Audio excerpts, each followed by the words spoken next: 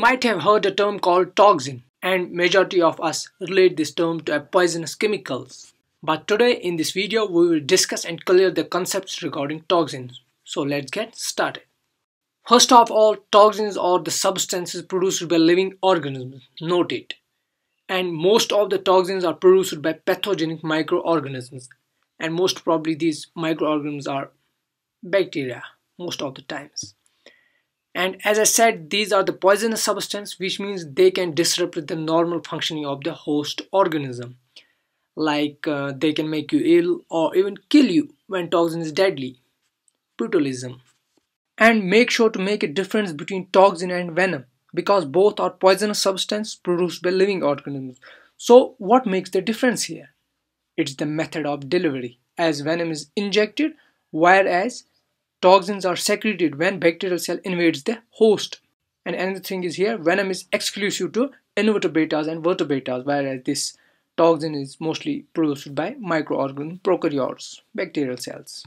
Second point we see here, toxin is made up of proteins or lipids or any other tissue that can prove poisonous to the host. And last thing we see here, although toxins are produced by living organisms, but these toxins are not biological agents what I mean to say here is that toxins are inanimate.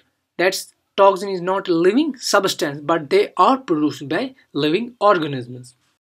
So we classify toxins into two categories exotoxins and endotoxins. And here we are going to see about exotoxins first. As we already know these are produced inside bacteria either gram positive bacteria or gram negative bacteria but exotoxins are produced mostly by gram positive bacteria and these are mostly the proteins here. And on the other side we see endotoxins. They are not produced but endotoxins are itself a part of cell wall of gram negative bacteria. They are exclusively present in gram negative bacteria these molecules endotoxin molecules. They are also called lps molecules or lipopolysaccharide molecules. It's present in the outer layer of cell wall. Endotoxins are lipids and polysaccharides as i already told you here in this diagram you can see how the bacteria produces exotoxins inside and then this bacteria secretes these exotoxins in its surroundings to infect the other cells.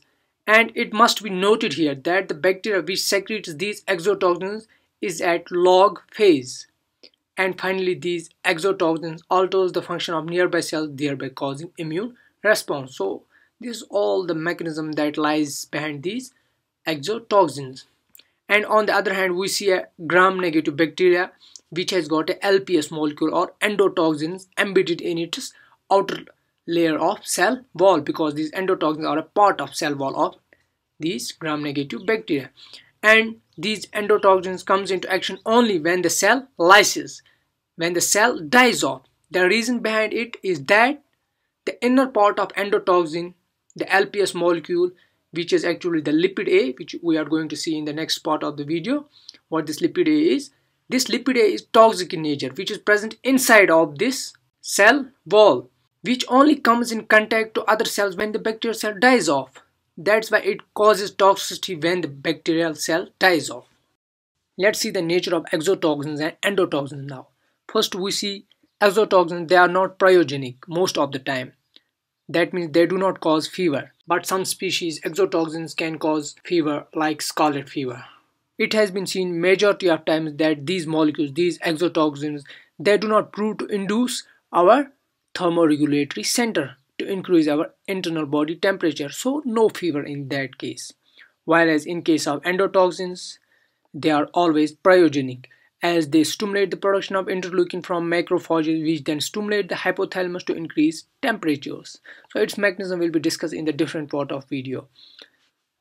Now let's see what these exotoxins and endotoxins cause. Exotoxins cause tetanus which is caused by Clostridium tetani.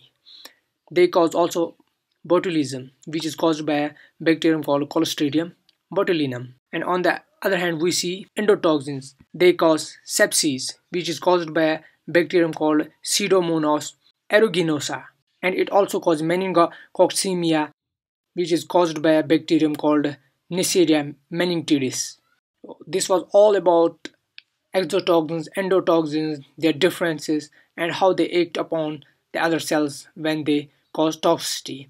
I hope you like this video. If you like it, give it a thumbs up and make sure to subscribe this channel. Thanks.